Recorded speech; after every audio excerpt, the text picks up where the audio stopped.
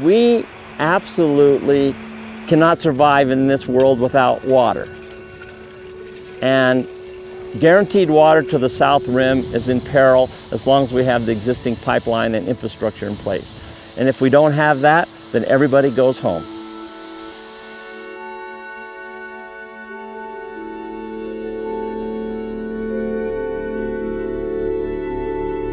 People live and migrate to places where water is available.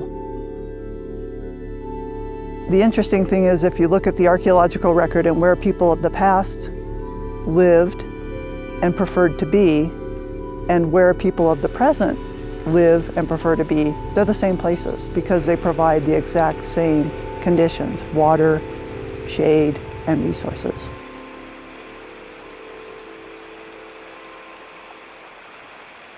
The genesis of the Trans-Canyon Pipeline was as a means to provide secure water at a volume that would meet the needs of the visitors coming to the Grand Canyon and the development that was occurring in Grand Canyon after World War II. Water in the Trans-Canyon Pipeline begins at Roaring Springs and flows downhill, losing 2,740 feet in elevation to Phantom Ranch, and then it lifts 1,300 feet in elevation up to Indian Gardens, and then rises another 3,000 feet by positive pressure pumps up to the south rim.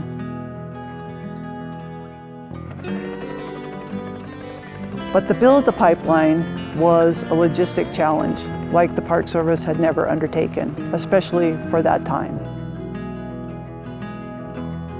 The contract for the Trans-Canyon Pipeline was awarded 1964 to Halvorson Incorporated and Elling Halvorson had a penchant for choosing logistically very difficult projects.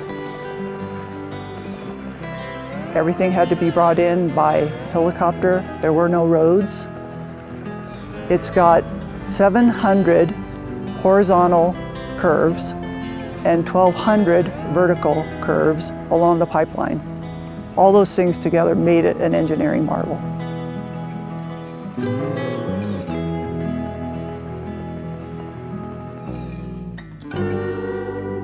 So the Trans-Canyon Pipeline was intended to last for 30 years. It's now coming on to 50 years, so it's serviced us for 20 years longer than anticipated. And so now as it ages, with the grit that runs through the system, it's more and more susceptible to breaking and is breaking more frequently.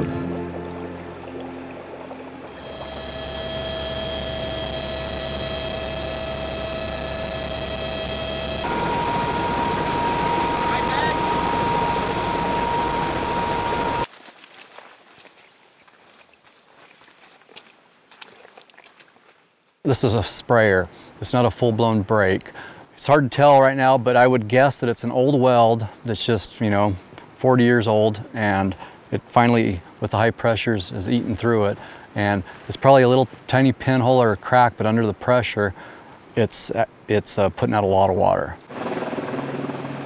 We're gonna get our sling loads in and our welder and our tools and we will excavate it When this pipeline breaks, it's, it's, it's go time. It's, uh, that's, it's time to get, we've got to get down here as soon as we can. We're under a lot of pressure to get it, get the water back on because Phantom has about a two or three day supply. And after that, they start talking evacuations and it's not what we want to do.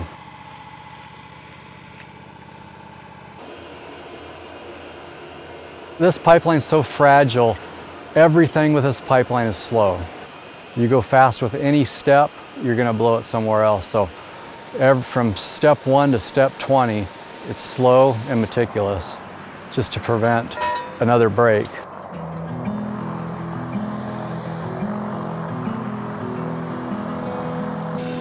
Like all the other valves around here, this valve's probably 30, 40 years old and it's just exceeded its life at this point.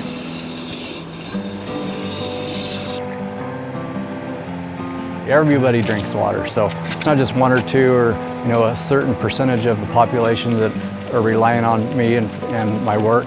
It's everybody.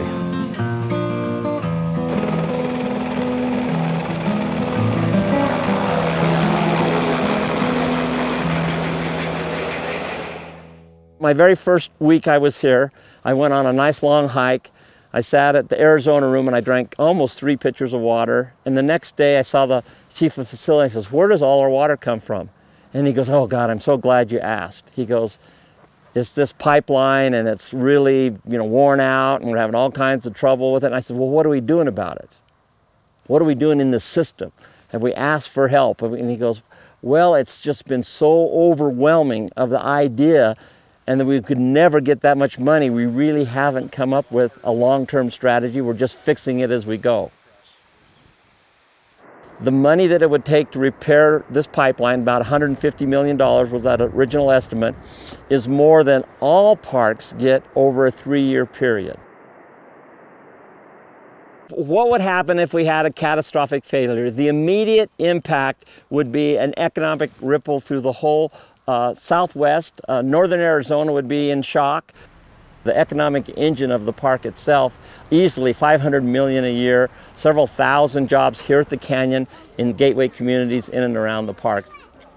But what would be lost is visitation. We'd have to literally send everybody home. Right now, underway, we have a construction project down at Phantom Ranch to replace 2,800 feet of the 15 miles. That 2,800 feet is going to cost us about $3.5 million. It's going to take several months, and it's a good precursor to what the challenge we have uh, to replace the whole pipeline.